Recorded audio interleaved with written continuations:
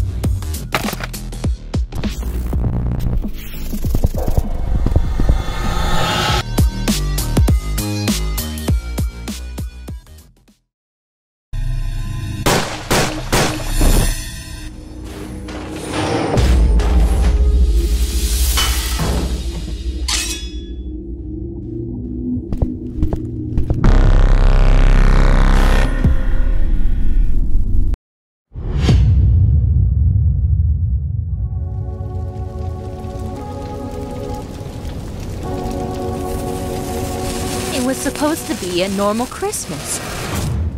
But there's been a problem. An unknown source has gone into the minds of the elves and turned them against Santa.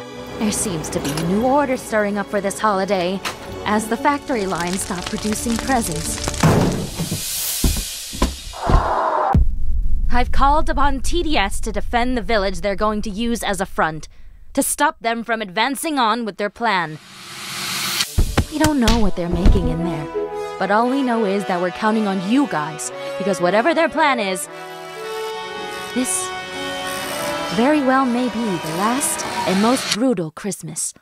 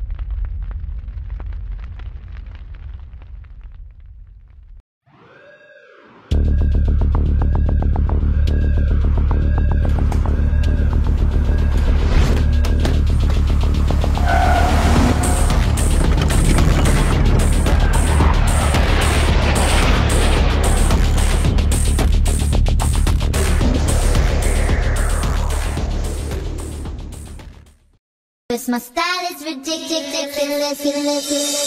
Give me the bum bum bum, yes yes. Give me the bum bum nim nim.